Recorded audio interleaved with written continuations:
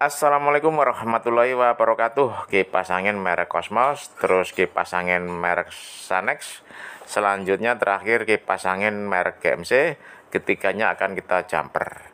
Pertama kita jumper dulu yang merek Cosmos jadi kipas angin Cosmos ini diputar lancar tapi dicolokin tidak berputar sama sekali juga tidak mendengung. Jadi kipas angin ini saklarnya sudah nggak ada sudah dilangsungin. Jadi supaya lebih jelas untuk menggambarkan bagaimana cara menjempernya. Kita buka dulu semuanya.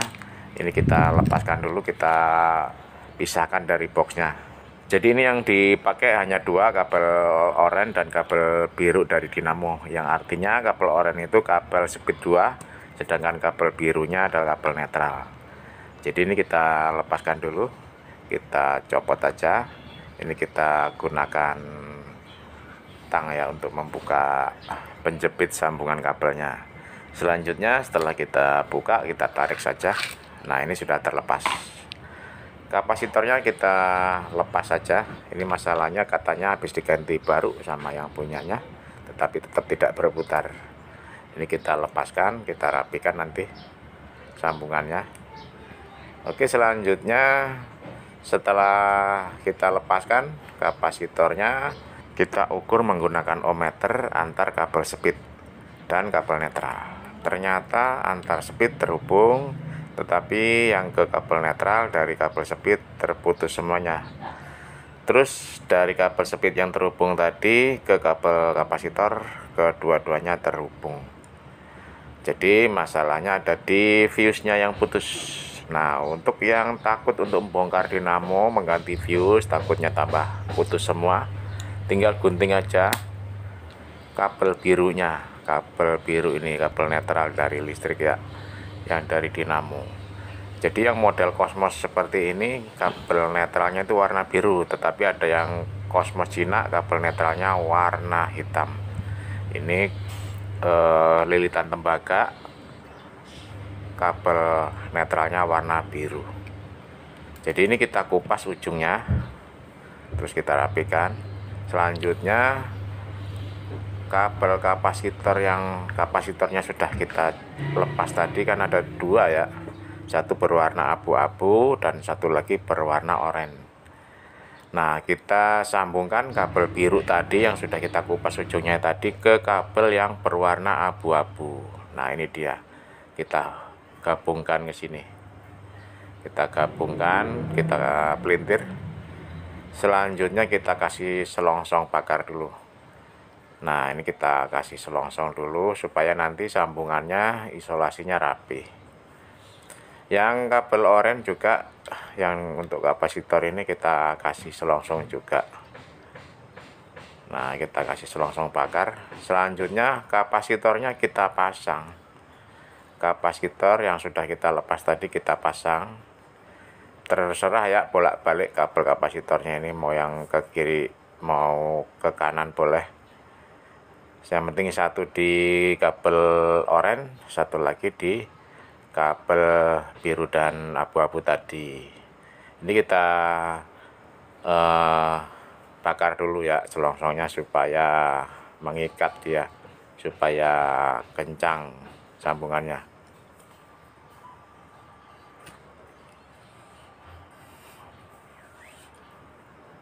Oke, setelah kita bakar, dia akan mengkerut dan menguat.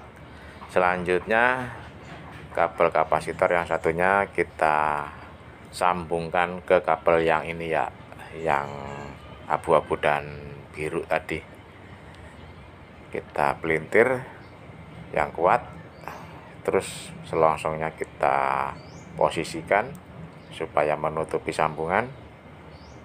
Selanjutnya kita bakar juga supaya selongsongnya mengkerut dan mengikat sambungan sehingga tidak mudah lepas. Oke selanjutnya langsung kita tes. Ini kita kasih isolasi dulu supaya kalau berputar dia nampak berputar kelihatan ya. Oke kita coba tes. Apakah dia bisa berputar? Ini kita colokin kabel biru dan kabel oranye. Jadi speed dua dan dan kabel netral. Ini kabel yang merah dan yang abu-abu dari kabel dinamo ini enggak terpakai ya karena enggak ada saklarnya. Alhamdulillah berputar ya. Jadi selanjutnya kita pasang lagi ke tempatnya kita rapikan perkabelannya terus kita tes sekali lagi setelah kita pasang semua. Ini kabel biru kita hubungkan langsung ke kabel colokan PLN yang warnanya juga biru saja supaya mudah. Oke kemudian dikasih penutup atau penjepit sambungan selanjutnya yang kabel pink tadi ya eh apa orange ya kabel orange ini speed 2 dia diambil tengah-tengah. Kalau speed satu abu-abu terlalu pelan mungkin speed 3 mungkin terlalu kencang. Jadi langsung saja tanpa saklar colok muter ya. Hmm. setelah kita pasang seperti ini kita coba colok. Alhamdulillah berputar ya sudah normal kembali kita perhatikan tengok-tengoknya juga sudah lancar. Kalau mau lebih aman kita kasih fuse di antara sambungan kabel tadi ya biru dan kapasitor tadi. Selanjutnya kita eksekusi yang merek Sanex. Penyakitnya sama sudah diukur putus fuse nya kapasitornya belum diganti. Terus diputar tangan lancar baling-balingnya. Jadi ini kita langsung jumper langsung jumper kita kupas dulu ini selongsong kabelnya supaya uh, nanti kabelnya lebih panjang dikit yang nongolnya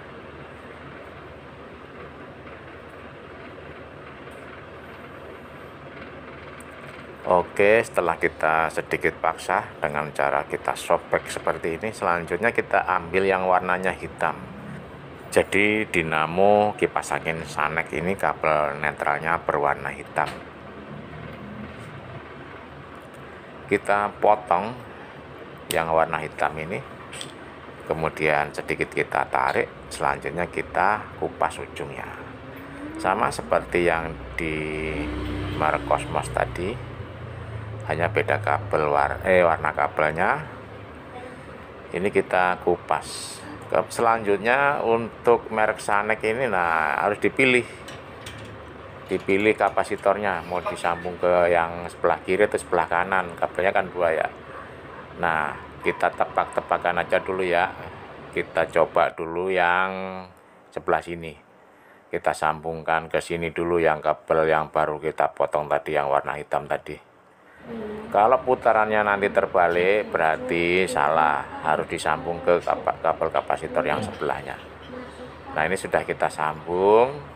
Ke sini coba kita tes, kita perhatikan arah putaran baling-balingnya. Oh, ternyata benar ya. Kalau sudah benar, udah nggak usah ragu-ragu lagi. Kita langsung saja isolasi yang kuat kabelnya, sambungannya tadi sudah kuat terus diisolasi yang kuat supaya tidak lepas. Kalau bisa disolder tadi lebih lebih kuat ya. Oke kabel yang ini udah nggak usah digubris lagi ya. Udah nggak ada jalurnya nggak ada setrumnya juga ini. Jadi aman. Kita pasang lagi seperti ini. Selanjutnya kita tutup. Setelah kita tutup kita tes sekali lagi. Alhamdulillah sudah bisa berputar dengan lancar. Anginnya juga kencang. Oke untuk yang merek Sanek. Sudah selesai. Selanjutnya yang terakhir merek GMC standing fan. Nah ini dia. Ini baling-balingnya plat ya. Ini sudah saya lepaskan dinamonya dari tempatnya. Selanjutnya ini kita perhatikan modelnya seperti ini kabel dinamonya pendek saja dia langsung ke saklar saklarnya juga di situ. Diputar lancar diukur masih bagus hanya fuse-nya yang putus. Tetapi saya ragu ini sepertinya bukan dinamo aslinya GMC ya. Sebab ini asnya panjang terus ini pakai fuse sedangkan GMC saya perhatikan nggak pakai fuse baiklah ini kita tes dulu untuk meyakinkan ini benar-benar mati fusenya putus diputar tapi lancar dan diukur dinamonya antar speed terhubung semuanya. Oke kita langsung buka saja untuk kita lakukan penjemperan. Kita perhatikan perkabelannya dulu.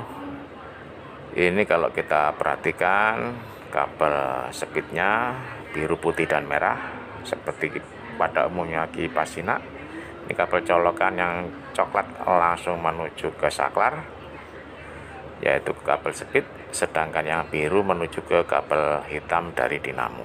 Nah kabel biru ini kabel netralnya ya kita lepas saja. Nah sudah tidak terpakai ini yang kabel hitam ini sudah putus jalurnya yang ke dalam. Selanjutnya kita ambil kabel eh kapasitornya kapasitornya ini kita hubungkan langsung ke kabel ini ya kabel biru ini ke salah satu kabel kapasitor entah sini atau sini ya.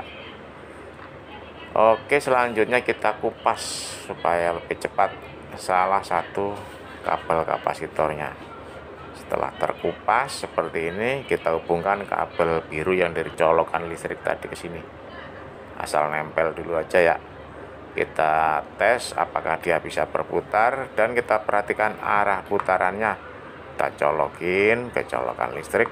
Kita perhatikan terbalik arah putarannya. Jadi salah ya. Nah ini kita lepas dulu. Kita lepas terus kita isolasi lagi. Yang sudah kita cowok tadi kabel kapasitornya supaya aman. Setelah itu kita sobek kabel kapasitor yang di sebelahnya. Nah sebelah sini kita kupas sedikit aja. Yang penting bisa untuk menghubungkan kabel biru tadi yang dari colokan listrik langsung tadi. Kita hubungkan ke sini. Kita pelintirkan yang kuat. Jadi kita sudah yakin eh, sambungannya ke sini ya ke kabel kapasitor ya ini. Nah ini kita kuatkan saja sambungannya terus kita eh, isolasi langsung yang kuat supaya tidak uh, gampang copot nanti. Setelah kita isolasi yang kuat selanjutnya kita tes apakah putarannya sudah betul. Jadi kita tes sekali lagi. Oke ini sudah berputar. Arah putarannya sudah benar. Kita coba tes speednya. Oke ini mati. Nomor satu. Lancar. Putarannya searah jarum jam. Ini nomor dua kencang. Dan nomor tiga paling kencang oke selanjutnya kita rakit kembali semuanya paling-palingnya juga. Terus kita tes seberapa kencang dia berputar seberapa kencang hembusan anginnya. Apakah sudah normal seperti biasa atau putarannya mm, lemah Alhamdulillah sudah kencang putarannya normal seperti biasa seperti semula. Jadi berhasil. Jadi ini eh, penjemperan kalau malas ganti fuse ya. Jadi cukup sekian dulu semoga bermanfaat. Wassalamualaikum warahmatullahi wabarakatuh